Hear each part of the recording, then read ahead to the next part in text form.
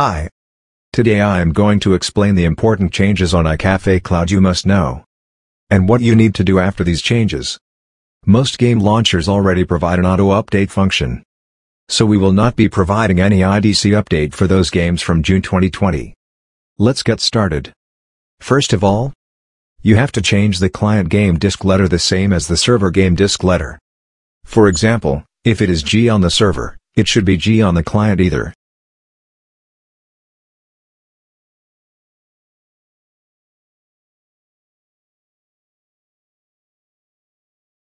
Install or upgrade your iCafe Cloud server to the latest version.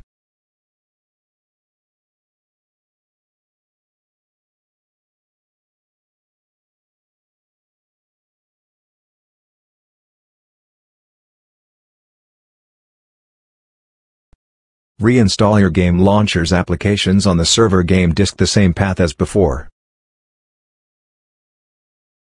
Run the game launchers and verify the game files on the server by the installed launchers. Let me show you how to verify the files of Battle.net.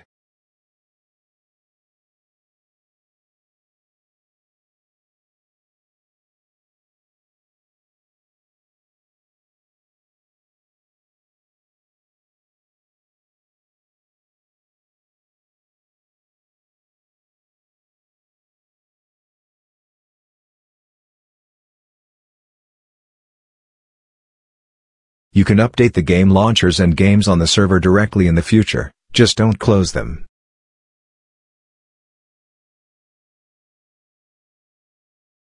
In case, you want to add a game, you should install the game launcher and game to the game disk on the server directly. Then enable the game launcher and game on iCafe Cloud.